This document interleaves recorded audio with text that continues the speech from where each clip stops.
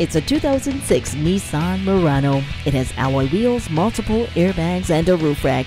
And it also features power locks and windows, leather seats, and dual zone air conditioning. And with a CD changer and a multi-function steering wheel, it won't be around long. This one will look better in your driveway than ours. So come on in for a test drive. Dublin Nissan is your final destination for all your automotive needs. We are conveniently located at 5510 Scarlett Drive in Dublin, California.